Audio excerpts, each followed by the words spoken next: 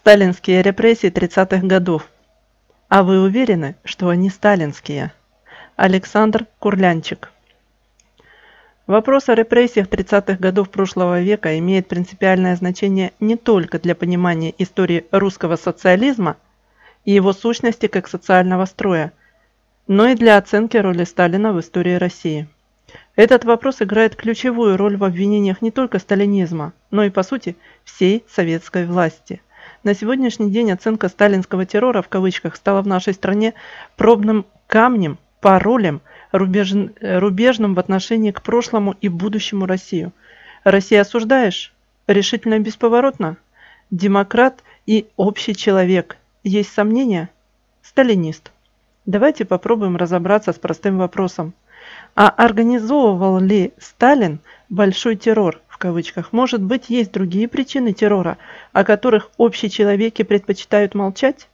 Итак, после Октябрьской революции большевики попытались создать идейную элиту нового типа, однако эти потуги забуксовали с самого начала. Главным образом потому, что новая народная в кавычках элита считала, что своей революционной борьбой в полной мере заслужила право пользоваться теми благами, какие имела элита в кавычках антинародная всего лишь по праву рождения. В дворянских особняках быстро осваивалась новая номенклатура, и даже старая прислуга осталась на месте, ее лишь стали именовать обслугой. Явление это было весьма широким и получило название комбарство. Даже правильные меры оказались неэффективными благодаря массовому саботажу новой элиты. К правильным мерам я склонен отнести введение так называемого «партмаксимума», в кавычках, запрету членам партии получать жалование больше, чем зарплата высококвалифицированного рабочего.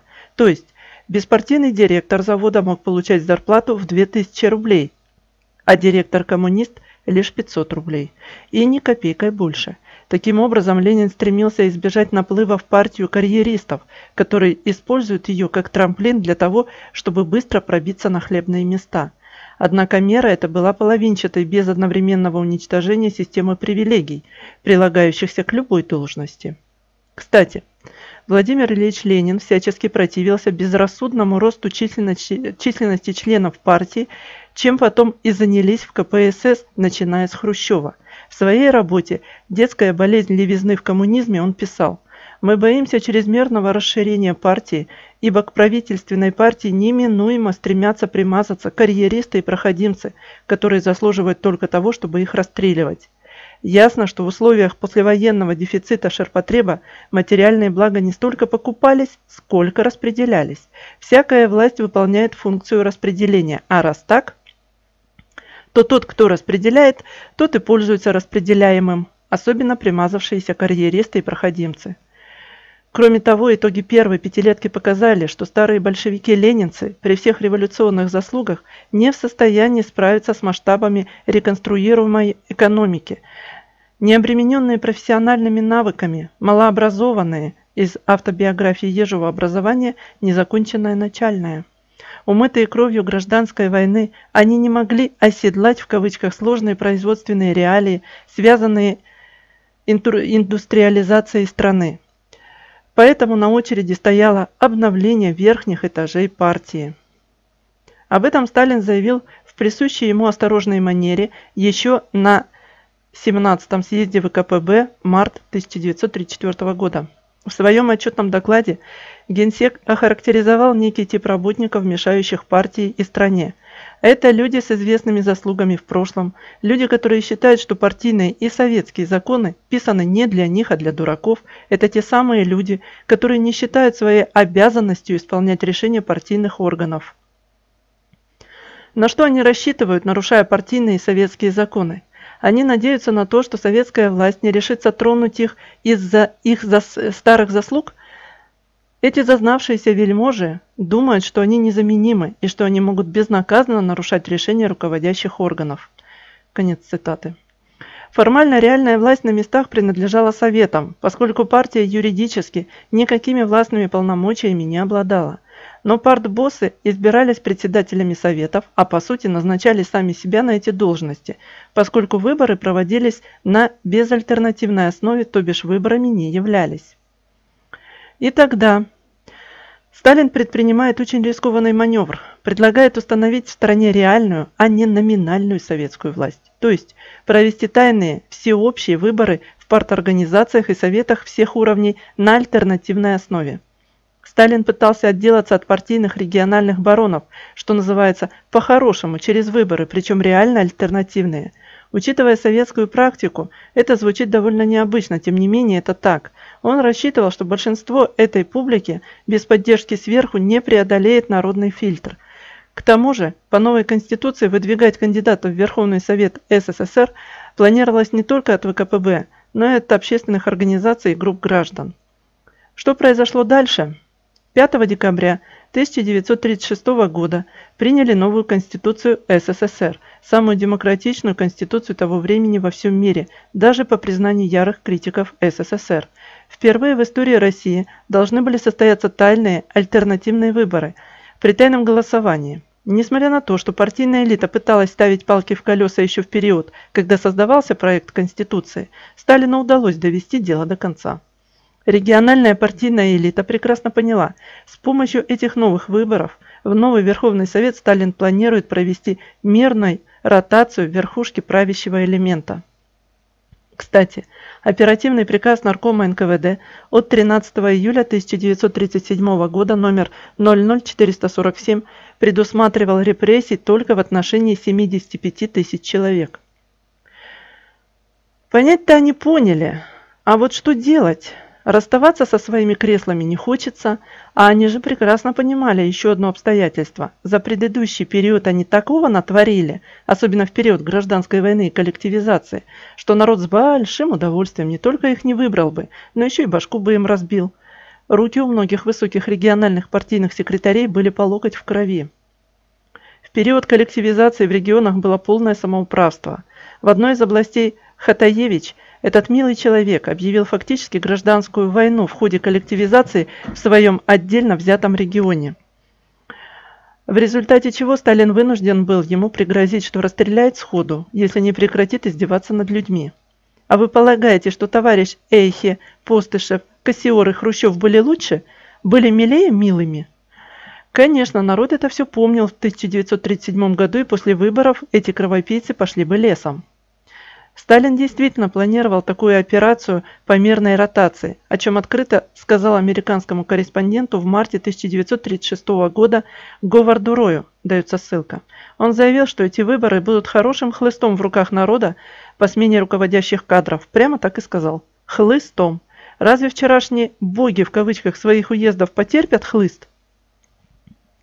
Состоящийся в июне – состоявшийся в июне 1936 года пленум ЦК ВКПБ прямо нацеливал партийную верхушку на новые времена. При обсуждении проекта новой Конституции Жданов в своем обширном докладе высказался совершенно недвусмысленно. Новая избирательная система даст мощный толчок к улучшению работы советских органов, ликвидации бюрократических органов, ликвидации бюрократических недостатков и извращения в работе наших советских организаций. А эти недостатки, как вы знаете, очень существенны. Наши партийные органы должны быть готовы к избирательной борьбе. Конец цитаты. И далее он говорил, что выборы эти будут серьезной, нешуточной проверкой советских работников, потому что тайное голосование дает широкие возможности отвести нежелательных и неугодных массам кандидатов, что партийные органы обязаны отличать подобную критику от враждебной деятельности, что к беспартийным кандидатам следует относиться со всей поддержкой и вниманием, потому что их, деликатно говоря, в несколько раз больше, чем партийцев. В докладе Жданова во всеуслышание были озвучены термины «внутрипартийный демократизм», «демократический централизм», «демократические выборы» и были выдвинуты требования запретить выдвигать кандидатов без выборов, запретить на партийных собраниях голосовать списком, обеспечить неограниченное право отвода членами партии выдвигаемых кандидатур и неограниченное право критики этих кандидатур.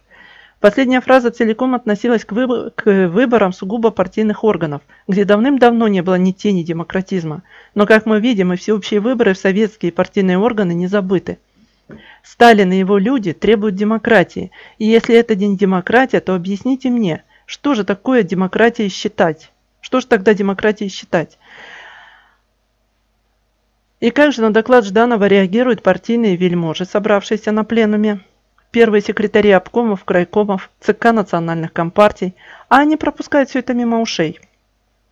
Потому что подобные новшества отнюдь не по вкусу той самой старой ленинской гвардии, в кавычках, которая еще не уничтожена Сталином и как раз и восседает на пленуме во всем величии и блеске. Потому что хваленая ленинская гвардия, в кавычках, скопище мелких сатрапчиков, они привыкли жить в своих вотчинах баронами, единолично распоряжаться жизнью и смертью людей, прения по докладу Жданова были практически сорваны. Несмотря на прямые призывы Сталина серьезно и подробно обсудить реформы, Старая Гвардия с параноидальным упорством сворачивает на более приятные и понятные темы террор, террор, террор. Какие к чертовой матери реформы?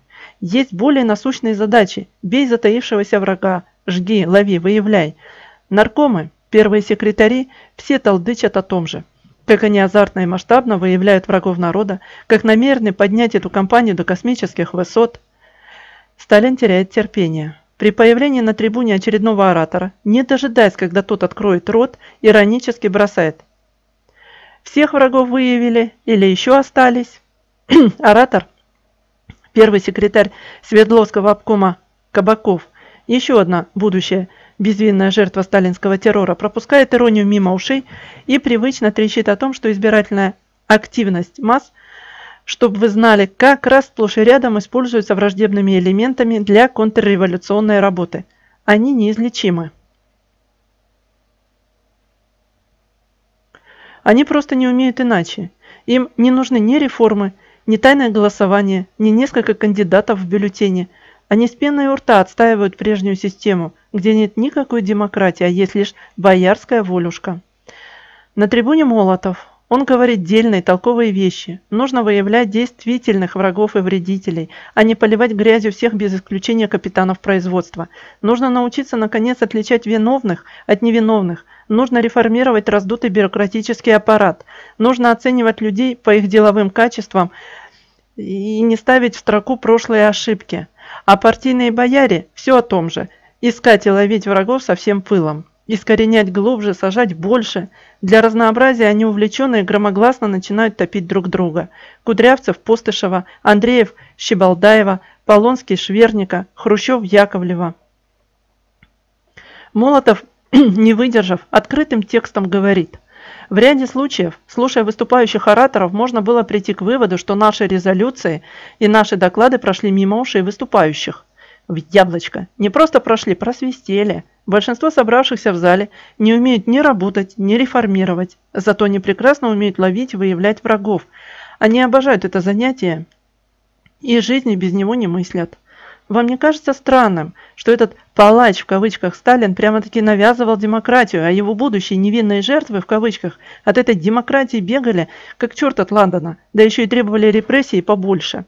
Короче говоря, не тиран Сталин, а именно космополитичная ленинская партийная гвардия, правившая бал на июньском пленуме 1936 года, похоронила все попытки демократической оттепели, не дала Сталину возможности отделаться от них, что называется по-хорошему, через выборы. Авторитет Сталина был столь велик, что открыто протестовать партийные бароны не рискнули, и в 1936 году была принята Конституция СССР, так и прозванная «Сталинской» которая предусматривала переход к реальной советской демократии. Однако партноменклатура встала на дыбы и провела массированную атаку на вождя с целью убедить его отложить проведение свободных выборов до завершения борьбы с контрреволюционным элементом. Региональные партбоссы, члены ЦК ВКПБ принялись нагнетать страсти, ссылаясь на недавно раскрытые заговоры троцкистов и военных. Мол, Стоит только дать такую возможность, как бывшие белые офицеры и дворяне, затаившиеся кулацкие недобитки, священнослужители и троцкисты-вредители ринутся в политику. Они потребовали не просто свернуть любые планы по демократизации, но и усилить чрезвычайные меры и даже ввести специальные квоты на массовые репрессии по регионам. Мол, чтобы добить всех троцкистов, кто ушел от наказания. Партноменклатура требовала полномочий для репрессий этих врагов, и она эти полномочия себе выбила.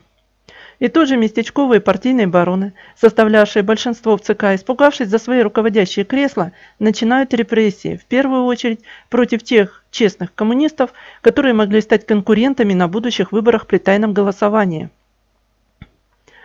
Характер репрессий против честных коммунистов был таков, что состав некоторых райкомов и обкомов сменился за год 2-3 раза.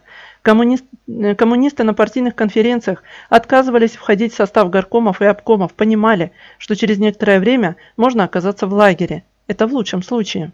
За 1937 год из партии было исключено около 100 тысяч человек – первом полугодии 24 тысячи и во втором 76 тысяч.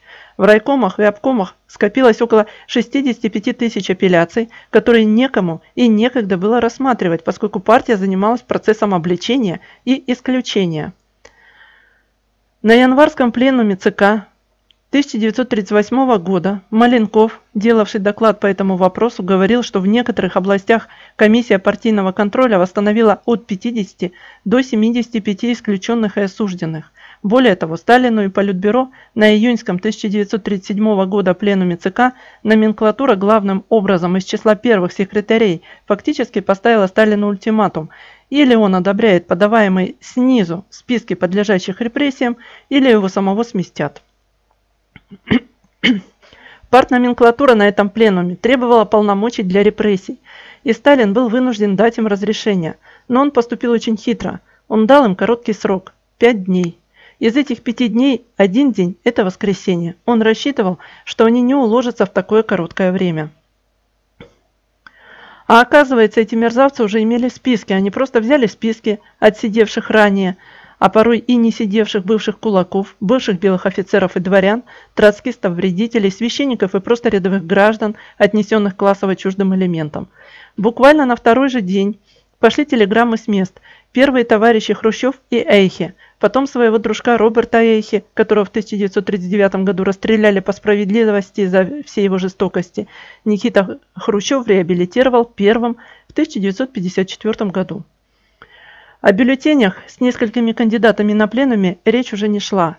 Планы реформ свелись исключительно к тому, что кандидатов на выборах будут выдвигать совместно коммунисты с беспартийными, и в каждом бюллетене отныне будет по одному единственному кандидату ради отпора проискам.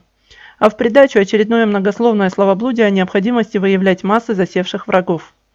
Была у Сталина еще одна ошибка. Он чисто, чистосердечно полагал, что Н. И. Ежов человек его команды, ведь столько лет они работали вместе в ЦК плечом к плечу. А Ежов уже давно был лучшим другом Евдокимова, ярого троцкиста. За 1937-1938 годы тройками в Ростовской области, где Евдокимов был первым секретарем обкома, было расстреляно 12 445 человек, более 90 тысяч репрессировано. Именно такие цифры, высеченные обществом мемориал в одном из ростовских парков на памятнике жертвам сталинских репрессий. Впоследствии, когда Евдокимова расстреляли, проверкой было установлено, что в Ростовской области лежало без движения и не было рассмотрено более 18,5 тысяч апелляций, а сколько их было не написано. Уничтожались лучшие партийные кадры, опытные хозяйственники, интеллигенция.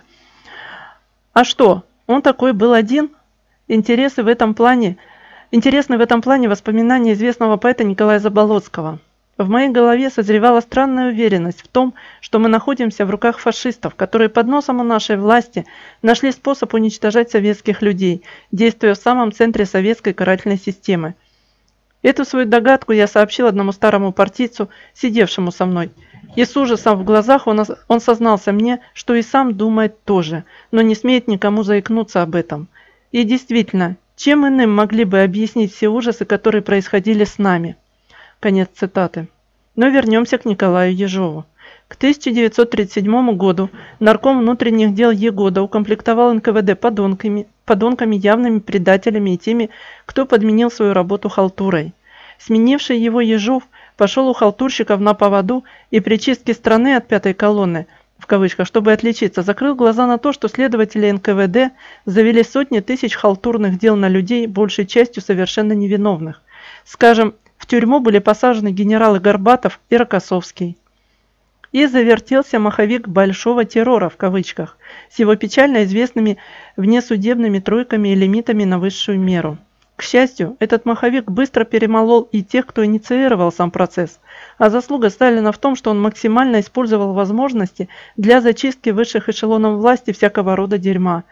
Не Сталин, а Роб... Роберт Индрикович Эйхи предложил создать органы внесудебной расправы знаменитой «тройки» по типу Столыпинских, состоявшие из первого секретаря, местного прокурора и главы НКВД города, области, края, республики.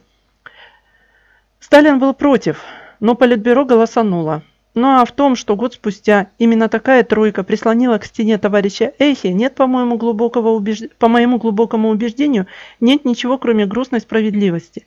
Партийная верхушка прямо-таки с упоением включилась в резню. Короче говоря, партийные, военные, ученые, писатели, композиторы, музыканты и все прочие, вплоть до знатных кролиководов, комсомольцев с упоением – жрали друг друга. Кто-то искренне верил, что обязан истребить врагов, кто-то сводил счеты, так что не надо болтать о том, били ли в НКВД по благородной физиономии того или иного безвинно пострадавшего деятеля или нет. А присмотримся попристальнее к нему самому, к репрессированному региональному партийному барону. А, собственно, что они собой представляли из себя как в деловом, так и в моральном и в чисто человеческом плане – чего они стоили, как люди-специалисты? Только нос сперва зажмите, душевно рекомендую. Партийная региональная номенклатура добилась самого главного. Ведь в условиях массового террора свободные выборы невозможны. Сталин так и не смог их провести. Конец недолгой оттепели. Сталин так и не продавил свой блок реформ. Правда, на том пленуме он сказал примечательные слова – партийные организации будут освобождены от хозяйственной работы, хотя пройдет это далеко не сразу. Для этого необходимо время. Но опять вернемся к Ежову. Николай Иванович был человек в органах новый, начал хорошо, но быстро попал под влияние своего заместителя Фриновского, бывшего начальника особого отдела первой конной армии. Тот обучал нового наркома азамчекистской работы прямо на производстве. Азы были крайне просты. Чем больше врагов народа поймаем, тем лучше. Бить можно и нужно, а бить и пить еще веселее. Пьяный от водки, крови и безнаказанности, нарком вскоре откровенно поплыл. Свои новые взгляды он не особенно скрывал от окружающих. «Чего вам, боя... Чего вам бояться?» – говорил он на одном из банкетов. «Ведь вся власть в наших руках. Кого хотим – казним, кого хотим – милуем. Ведь мы – это все, Нужно, чтобы все, начиная от секретаря обкома, под тобой ходили. Если секретарь обкома должен был ходить под начальником областного управления НКВД, то кто, спрашивается, должен был ходить под Ежовым? С такими кадрами и такими взглядами НКВД стал смертельно опасен и для власти, и для страны. Трудно сказать, когда в Кремле стали сознавать происходящее. Вероятно, где-то в первой половине 1938 года. Но осознать осознали. А как опуздать монстра? Ясно, что наркомат НКВД стал к тому времени смертельно опасен, и его надо было нормализовывать. Но как? Что поднять войска, вывести всех чекистов во дворы управления и шеренгой поставить к стенке? Иначе никак, ибо, едва почувствовав опасность, они попросту смели бы власть. Ведь охраной Кремля ведал все тот же НКВД, так что члены Политбюро умерли бы, даже не успев ничего понять после чего на их места посадили бы десяток кровью умытых, и вся страна превратилась бы в одну большую западносибирскую область с Робертом Эхи во главе. Приход гитлеровских войск народы СССР восприняли бы как, восприняли бы как счастье. Выход был один – посадить своего человека в НКВД.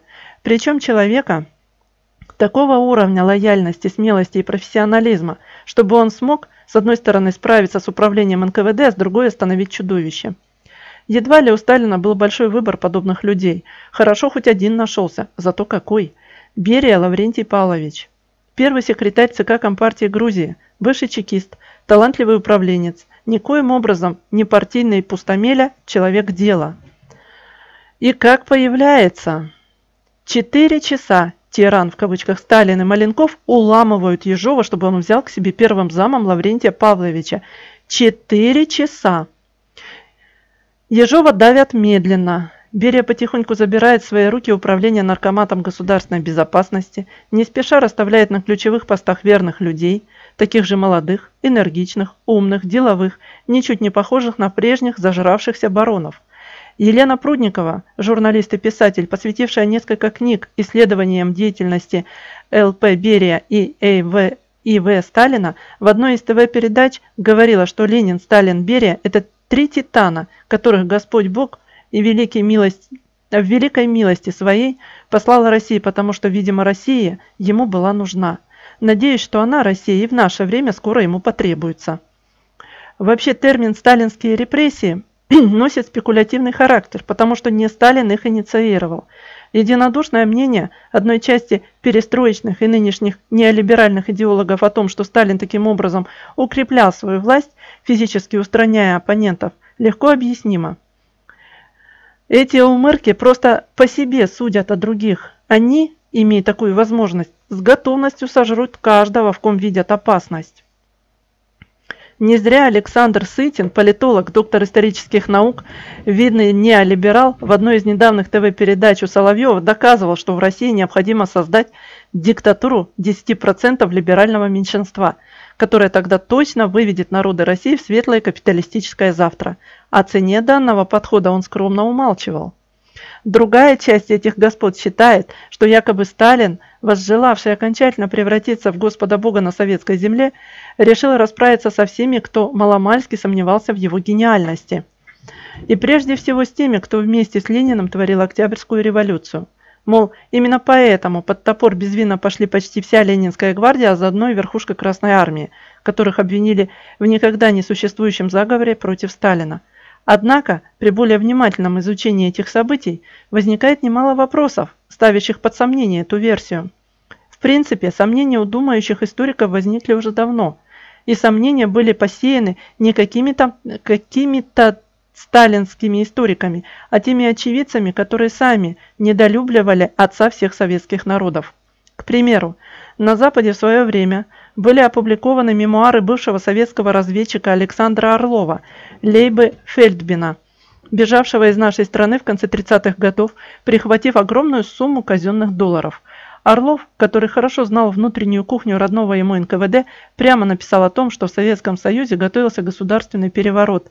Среди заговорщиков, по его словам, были как представители руководства НКВД, так и Красной Армии в лице маршала Михаила Тухачевского и командующего Киевским военным округом Ионы Якира. О заговоре стало известно Сталину, который предпринял очень жесткие ответные действия. А в 80-е годы в США были рассекречены архивы самого главного противника Иосифа Виссарионовича Льва Троцкого. Из этих документов стало ясно, что Троцкий имел в Советском Союзе разветвленную подпольную сеть, Проживая за границей, Лев Давидович требовал от своих людей решительных действий по дестабилизации ситуации в Советском Союзе, вплоть до организации массовых террористических акций.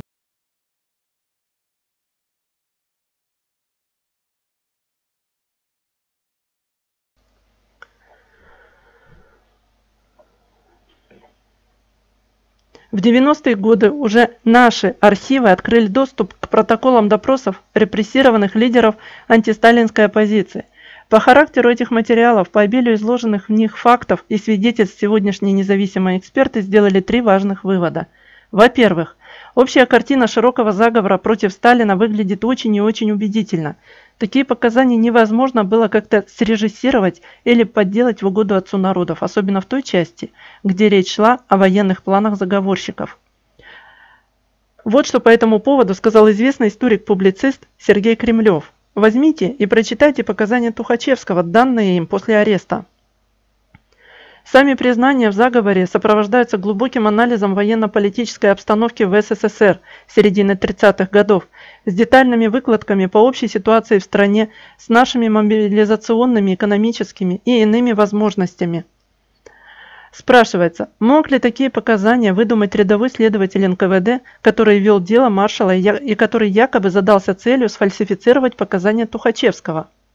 Нет, эти показания, причем добровольно, мог дать лишь знающий человек никак не меньшего уровня заместителя наркома обороны, каковым и был Тухачевский. Во-вторых, сама манера собственноручных признаний заговорщиков, их почерк говорили о том, что писали их люди сами, фактически добровольно, без физического воздействия со стороны следователей. Это рушило миф о том, что показания грубо выбивались силой сталинских палачей, хотя и такое было. В-третьих, западные советологи и иммигрантская публика, не имея доступа к архивным документам, свои, свои суждения о масштабах репрессий вынуждены были фактически высасывать из пальца. В лучшем случае они довольствовались интервью с диссидентами, которые либо сами в прошлом прошли через заключение, либо проводили, приводили рассказы тех, кто прошел через ГУЛАГ. Верхнюю планку в оценке числа жертв коммунизма задал Александр Солженицын, заявив в 1976 году в интервью испанскому телевидению о 110 миллионах жертв. Озвученный Солженицыным потолок в 110 миллионов планомерно снижался до 12,5 миллионов человек общества «Мемориал».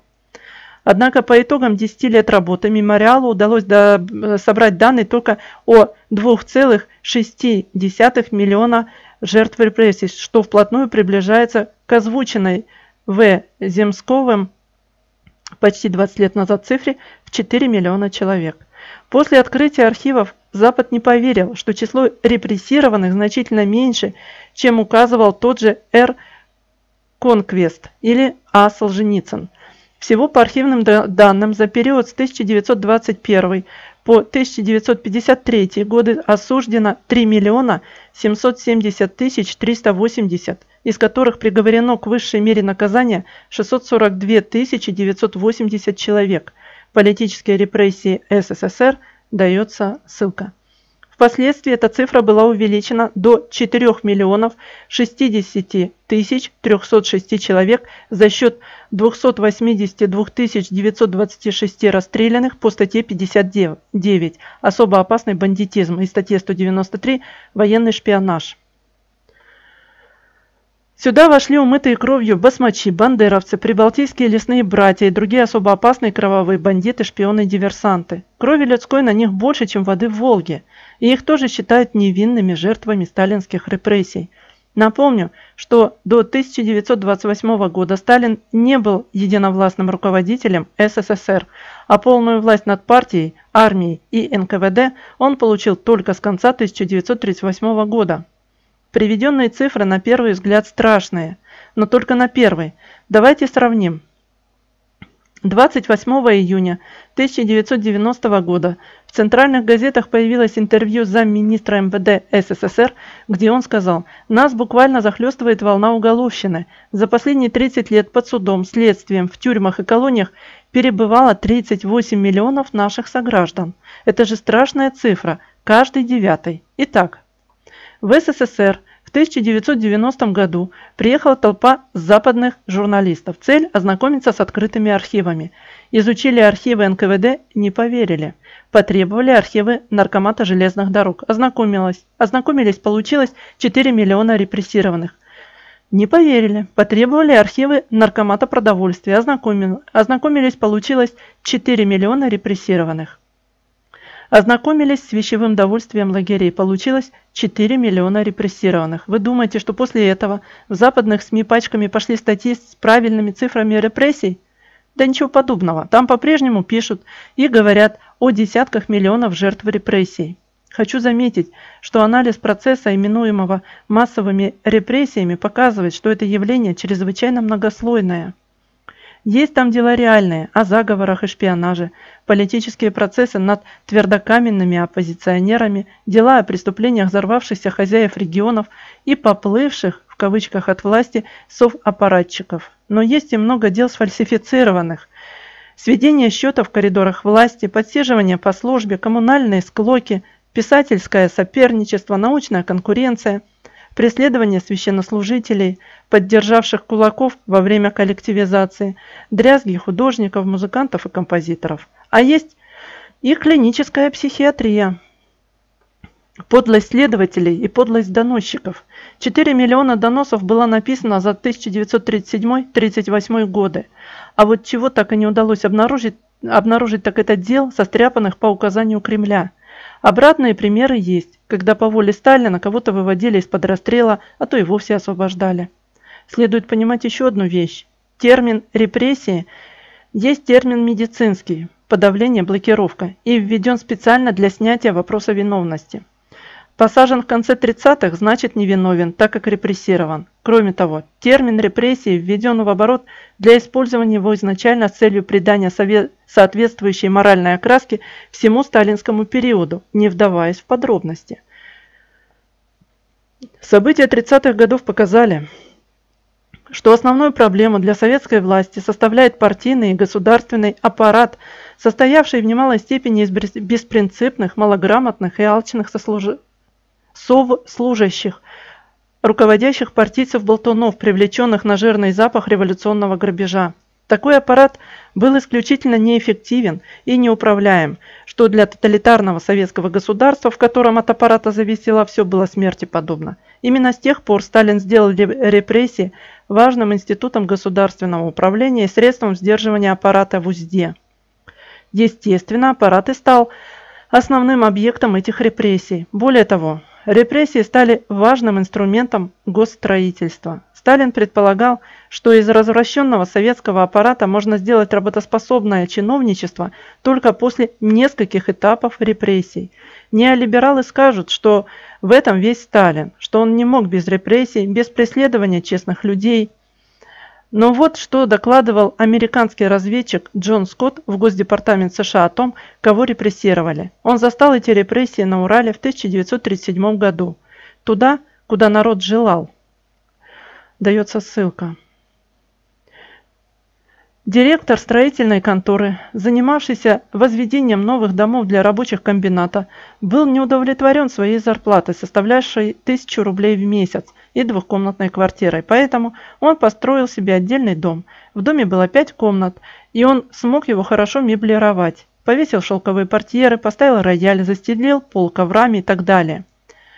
Затем он начал разъезжать по городу в автомобиле в тот момент, это происходило в начале 1937 года, когда в городе было мало частных машин. В то же время годовой план строительных работ был выполнен его конторой всего лишь приблизительно на 60%. На собраниях и в газетах ему все время задавали вопросы о причинах плохой работы. Он отвечал, что нет стройматериалов, не хватает рабочей силы и тому подобное.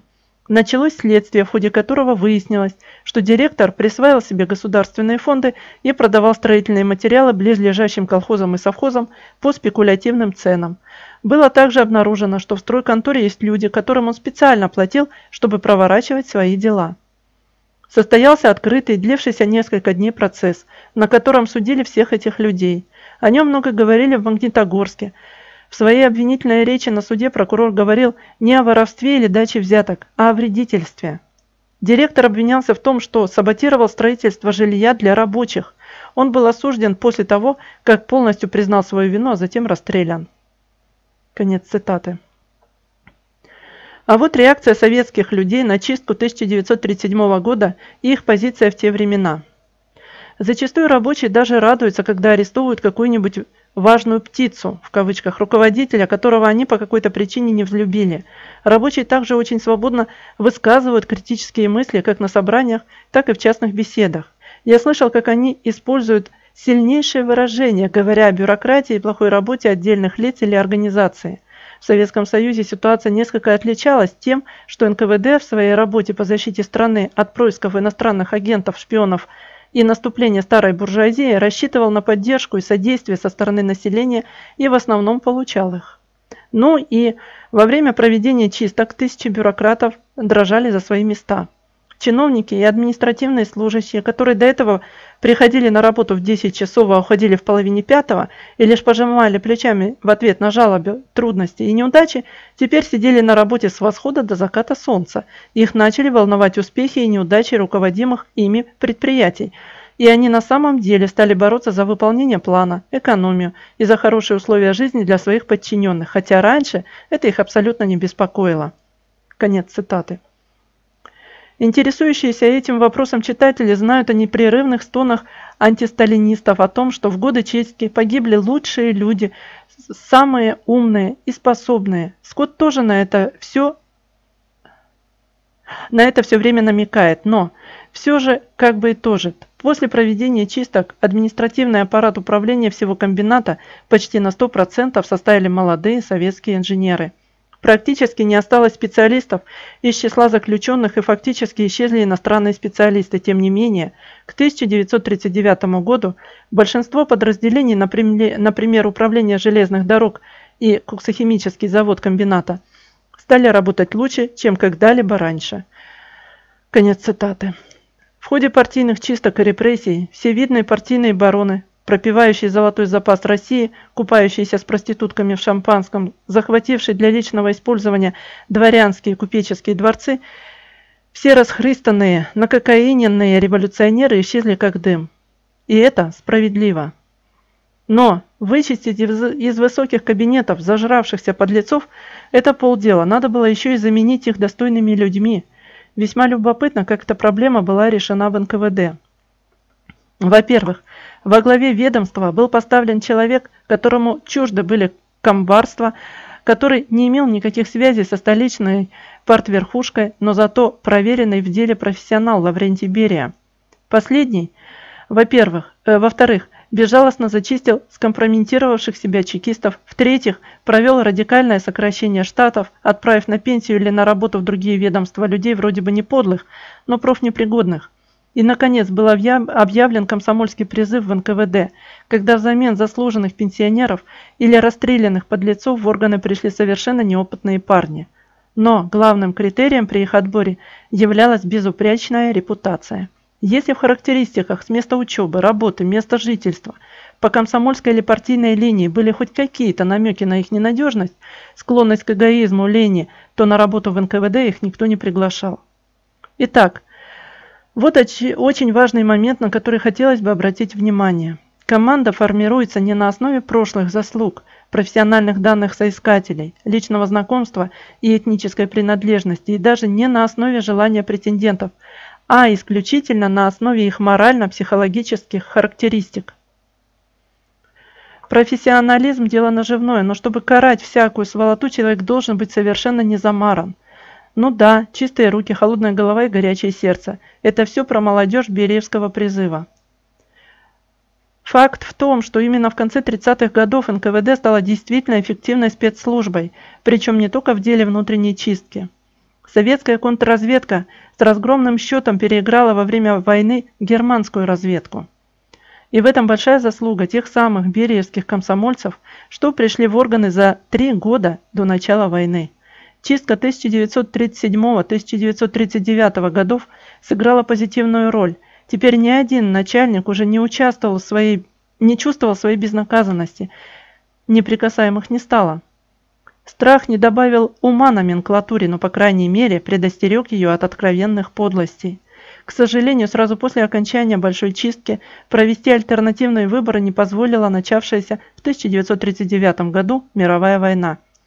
И вновь в повестку дня вопрос о демократизации был поставлен Иосифом Виссарионовичем в 1952 году, незадолго до своей смерти. Но после смерти Сталина Хрущев вернул партии руководство всей страной, ни за что не отвечая. И не только. Практически сразу после смерти Сталина появилась сеть спецраспределителей и спецпайки, через которые новые элитарии реализовали свое преимущественное положение. Но помимо привилегий формальных, быстро сформировалась система неформальных привилегий, что очень важно. Раз уж коснулись деятельности дорогого нашего Никиты Сергеевича – то поговорим о ней чуть подробней. С легкой руки или языка Ильи Эренбурга период правления Хрущева назван оттепелью. Давайте посмотрим, а чем занимался Хрущев до оттепели во время Большого террора. Идет февральско-мартовский пленум ЦК 1937 года. Именно с него, как считается, начался Большой террор. Вот выступление Никиты Сергеевича на этом пленуме. Нужно уничтожать этих негодяев. Уничтожая десяток, сотню, тысячу, мы делаем дело миллионов. Поэтому нужно, чтобы не дрогнула рука, нужно переступить через трупы врагов на благо народа. А вот как Хрущев действовал на посту первого секретаря Московского горкома и обкома ВКПБ. В 1937-1938 годах из 38 высших руководителей МГК уцелело лишь три человека. Из 146 партсекретарей – 136 репрессировано. Умом не понять, где он в Московской области в 1937 году умудрился найти 20 тысяч кулаков, попавших под репрессии. Всего за 1937-1938 годы только в Москве и Московской области им лично было репрессировано 55 741 человек и 106 119 человек за период его издевательств над Украиной. Но, может быть, выступая на 20-м съезде КПСС, Хрущев переживал, что были расстреляны невинные простые люди – да наплевать было Хрущеву на аресты и расстрелы простых людей. Весь его доклад на 20-м съезде был посвящен обвинениям Сталина в том, что он сажал и расстреливал видных большевиков и маршалов, то есть элиту. Хрущев в своем докладе даже не вспомнил о репрессированных простых людях, что ему за народ переживать, бабы еще нарожают. А вот космополитическую элиту лапотнику Хрущеву было ой как жалко. Каковы же были побудительные мотивы для появления разоблачительного доклада на 20-м съезде партии. Во-первых, не растоптав в грязи предшественника, надеяться на признание Хрущева в роли вождя после Сталина было немысленно. Нет, Сталин и после смерти оставался для Хрущева конкурентом, которого любыми средствами нужно было унизить и уничтожить. Пинать же мертвого льва, как оказалось, одно удовольствие, сдачи не даст. Вторым побудительным мотивом являлось стремление Хрущева возвратить партию к управлению хозяйственной деятельностью государства, всем руководить, ни за что не отвечая и никому не подчиняясь. Третьим мотивом и, пожалуй, самым главным был жуткий страх остатков Ленинской гвардии за содеянное, ведь у всех у них руки, как выражался сам Хрущев, были по локоть в крови. Хрущеву и таким, как он, хотелось не только править страной, но и иметь гарантии того, что их никогда не повлекут, не поволокут на дыбу, чтобы они не натворили, находясь на руководящих постах. 20-й съезд КПСС выдал им таких гарантий в виде индульгенции на отпуск всех грехов, как прошлых, так и будущих. Вся загадка Хрущева и его сподвижников не стоит и выеденного яйца. Это сидящий в их душах неуемный животный страх и болезненная жажда власти. Первое, что поражает у десталинизаторов – полное игнорирование принципов историзма, которым вроде бы всех учили в советской школе. Никакой исторический деятель не может оцениваться по меркам современной нам эпохи. Он должен оцениваться по меркам своей эпохи и никак иначе. В правоведении об этом говорят так – закон обратной силы не имеет. То есть Запрет, введенный в этом году, не может распространяться на прошлогодние деяния. Здесь необходим и историзм оценок. Нельзя судить человека одной эпохи по меркам другой эпохи, тем более той новой эпохи, которую он создал своим трудом и гением. Для начала XX века ужасы в положении крестьянства были настолько обыденными, что многие современники их практически и не замечали.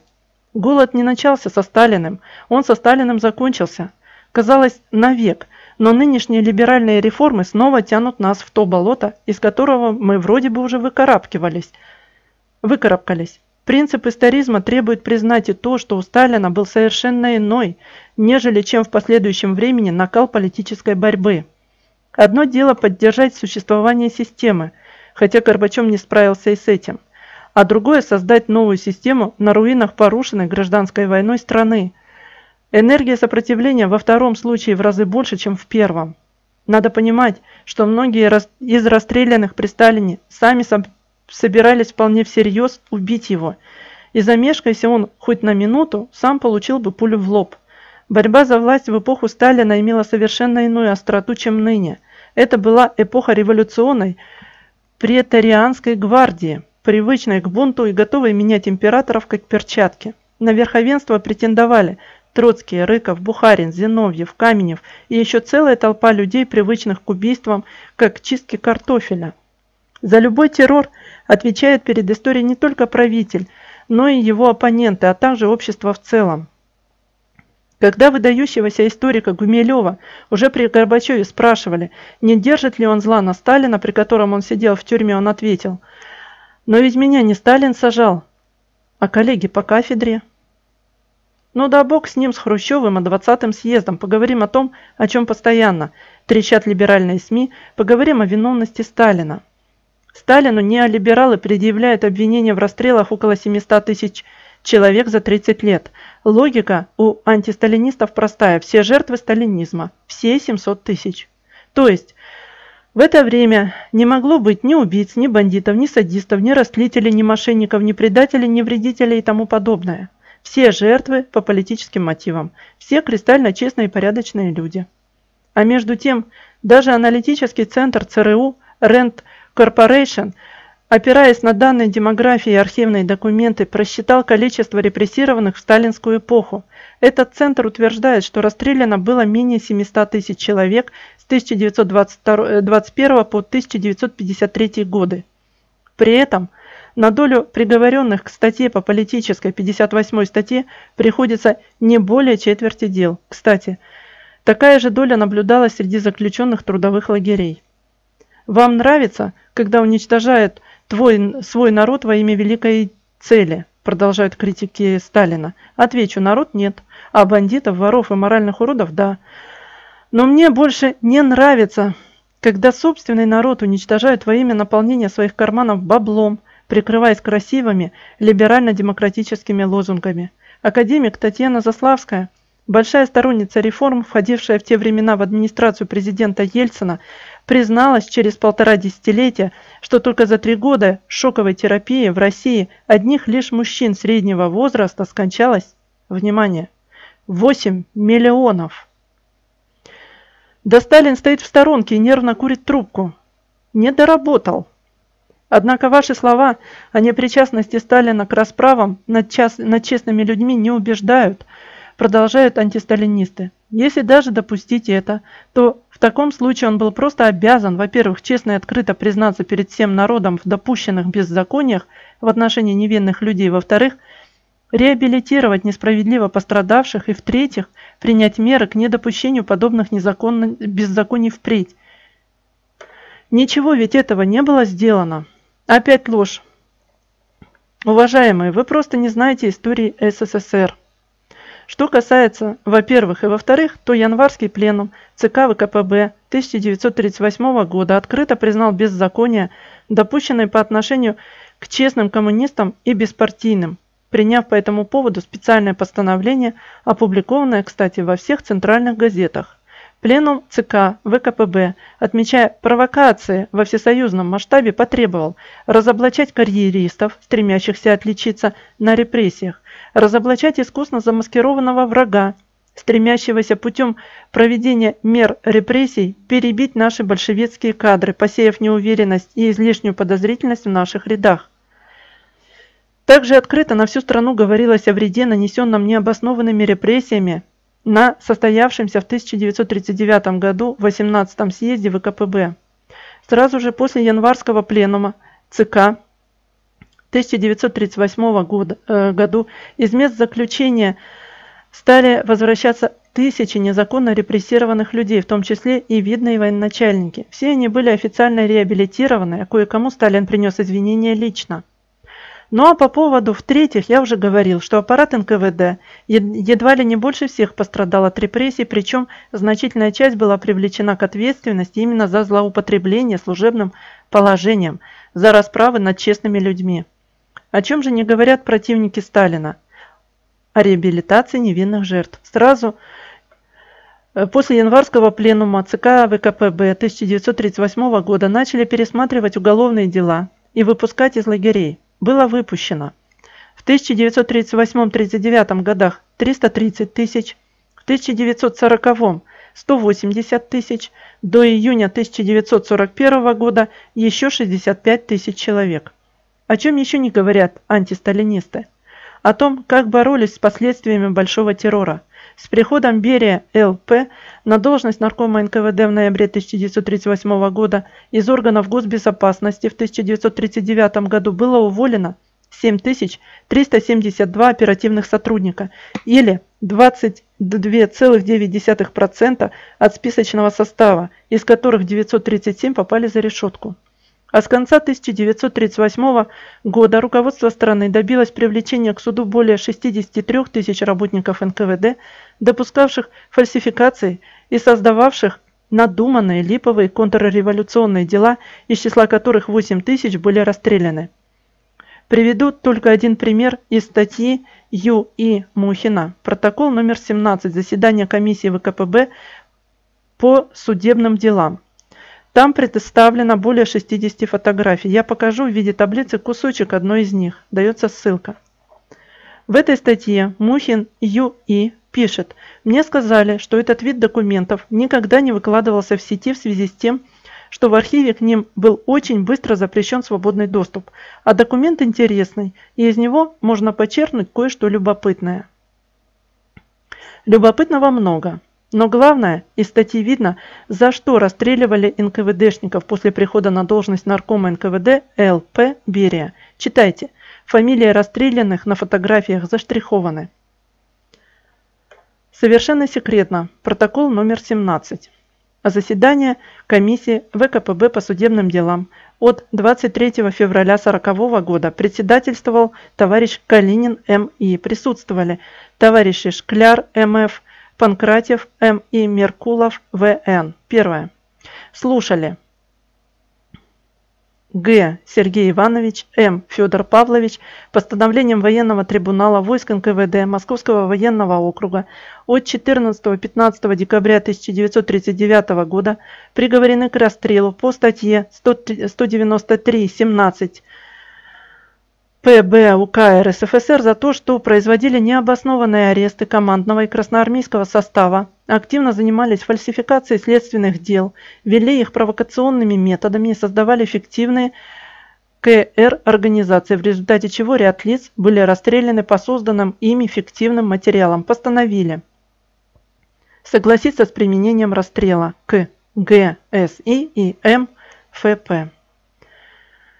17. Слушали. А. Федор Афанасьевич. Постановлением военного трибунала войск НКВД Ленинградского военного округа от 19-25 июля 1939 года приговорен к расстрелу по статье 193.17 П.Б. УК РСФСР за то, что, являясь работником НКВД, производил массовые незаконные аресты граждан-работников железнодорожного транспорта, занимался фальсификацией протоколов допросов и создавал искусственные КР-дела, в результате чего было осуждено к расстрелу свыше 230 человек и на разные сроки лишения свободы более 100 человек, причем из числа последних в данное время освобождены 69 человек. Постановили согласиться с применением расстрела к АФА. Прочитали? Ну и как вам, милейший Федор Афанасьевич? Один. Один следователь-фальсификатор подвел под расстрел 236 человек. А что он такой был единственный? Сколько их было, таких негодяев? Цифру я привел выше. что, Сталин лично ставил задачи этим Федором и Сергеем на уничтожение невинных людей? Кстати, эти 8 тысяч расстрелянных следователей НКВД также входят в списки мемориала как жертвы сталинских репрессий. Какие напрашиваются выводы? Вывод номер один – Судить о сталинском времени только по репрессиям – это все равно, что о деятельности главврача больницы судить только по моргу больницы. Там ведь всегда будут трупы. Если подходить с такой меркой, то каждый врач есть кровавый упырь и душегуб. То есть сознательно игнорировать тот факт, что коллектив врачей успешно излечил и продлил жизнь тысячам больных и обвинять их только в небольшом проценте умерших из-за каких-то неизбежных ошибок диагнозов или умерших во время тяжелых операций. Авторитет Иисуса Христа со сталинским несопоставим, но даже в учении Иисуса люди видят только то, что хотят видеть. Изучая историю мировой цивилизации, приходится наблюдать, как христианским учением обосновывали войны, шовинизм, арийскую теорию, крепостное право, еврейские погромы. Это не говоря уже о казнях без пролития крови, то есть сожжении еретиков. А сколько крови пролилось во время крестовых походов и религиозных войн. Так что, может быть, из-за того, из-за так что, может быть, из-за этого запретить учение Создателя нашего? Так же, как сегодня некоторые умырки предлагают запретить коммунистическую идеологию. Если рассмотреть график смертности населения СССР, при всем желании нельзя найти следов жестоких репрессий, и не потому, что их не было, а потому, что их масштабы преувеличены. Какова цель этого преувеличения и нагнетания?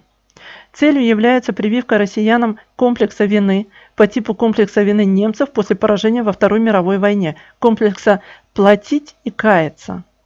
А ведь живший за 500 лет до нашей эры великий древнекитайский мыслитель и философ Конфуций еще тогда говорил «Остерегайтесь тех, кто хочет вменить вам чувство вины и покаяния, ибо они жаждут власти над вами». Нужно это нам? Судите сами. Когда первый раз Хрущев оглушил всех так называемой правдой о сталинских репрессиях, то авторитет СССР в мире сразу рухнул на радость врагам произошел раскол в мировом коммунистическом движении. Мы рассорились с Великим Китаем, а десятки миллионов людей в мире вышли из коммунистических партий. Появился еврокоммунизм, отрицающий не только сталинизм, но и, что страшно, сталинскую экономику. Миф 20-го съезда создал искажен, искаженное представление о Сталине и его времени, обманывал и психологически разоружал миллионы людей, когда решался вопрос о судьбе страны. Когда второй раз это сделал уже Горбачев, то развалился не только социалистический блок, но распалась наша родина, СССР. Сейчас команда Путина делает уже это в третий раз. Опять говорит только о репрессиях и прочих преступлениях сталинского режима. К чему это ведет, наглядно видно в диалоге Зюганов-Макаров. Им говорят о развитии, новой индустриализации, а они начинают сразу переводить стрелки на репрессии. То есть сразу обрывают конструктивный диалог, превращая его в свару, гражданскую войну смыслов, идей. Вывод номер два. Зачем им это нужно? Чтобы не допустить восстановления сильной великой России. Им удобнее править слабой и раздробленной страной, где люди будут друг друга за волосы э, драть при упоминании имени Сталина или Ленина. Так им удобнее нас грабить и обманывать. Политика «разделяй и властвуй» стара как мир – тем более, что они всегда могут свалить из России туда, где хранятся их новоровные капиталы и живут дети, жены и любовницы. Вывод номер три. А зачем это нужно патриотам России? Да просто другой страны у нас и у наших детей нет. Подумайте сначала об этом, прежде чем начинать проклинать за репрессии и прочее нашу историю. Ведь нам валить и отступать некуда. Как говорили наши предки-победители в похожих случаях. Позади Москва, и за Волгой для нас земли нет. Только после возврата в Россию социализма, с учетом всех достоинств и недостатков СССР, нужно быть бдительными и помнить сталинское предупреждение о том, что по мере строительства социалистического государства классовая борьба обостряется, то есть налицо угроза перерождения. Так оно и произошло, причем одними из первых переродились определенные сегменты ЦК КПСС, ЦК ВЛКСМ и КГБ. Не доработала сталинская партийная инквизиция. По материалам книг и статей Елены Анатольевны Прудниковой, Юрия Игнатьевича Мухина и других авторов. Сталинские репрессии 30-х годов. А вы уверены, что они сталинские? Александр Курлянчик. От себя хочу добавить, что внизу плеера не зря есть надпись с предостережением, что команда канала не всегда согласна с, с транслируемым контентом. Спасибо за внимание.